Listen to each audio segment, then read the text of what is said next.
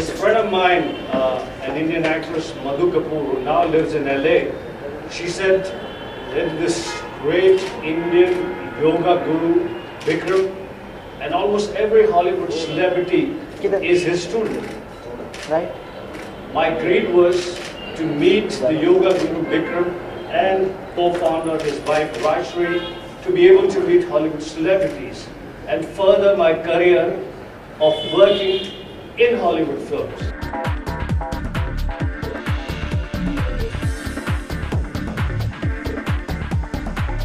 I look up to her. She is a wonderful, wonderful, warm, uh, uh, fabulous person I've ever come across. I agree with. And of course, uh, I'll be missing uh, Bikram. I wish he was here to, uh, you know, he could witness all of us over here sitting on the dais and what. Enough, you know, I, I, I have no words really to express uh, what this experience has been for me. It's been completely life-changing for me. And uh, well, I have just started uh, doing uh, hot yoga, so I am not yet.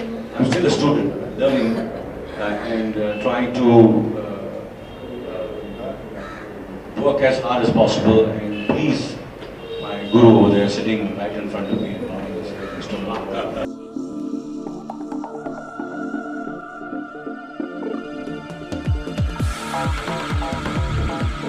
A big welcome to you all, members of the press, and ladies and gentlemen. Thank you very much for coming here. My uh, special thanks to all the instructors who are sitting there who have been absolutely fantastic in helping me and, and uh, a lot of other people in developing their yoga skills.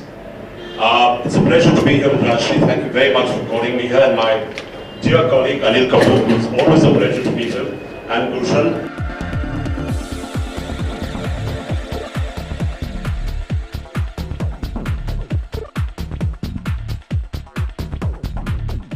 Was, of course, it is from India, but then when it went to the Los America and Western world in Europe and every other countries, they started practicing and accepting more. And over there, people are very smart. They don't take things unless it's really helpful or effective very fast. So what they have seen it that it's not only the practice they took it in the scientific also form and they figuring out that it is the only way that you can have a complementary medicine without taking any medicine or drug you can find a full fitness.